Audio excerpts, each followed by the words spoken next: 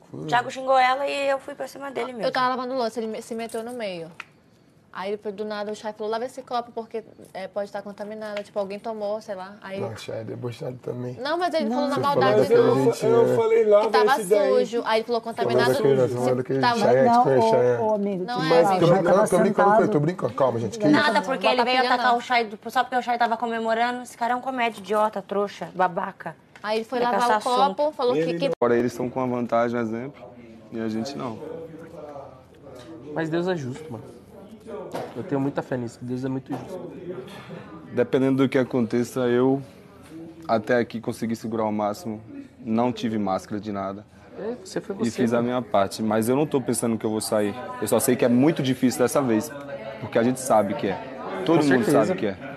É difícil, mas não é impossível. Né, não é impossível. Mano, porque o é- povo gosta de colocar os erros, é porque vão postar, né? Óbvio. Não, e assim, ó, acho que você tem que ter paz no seu coração. De saber que foi você. Se assim, ó, eu, se fosse eu no teu lugar, Lucas estando na roça, eu estaria em paz comigo mesmo. Isso porque aí. eu fui eu.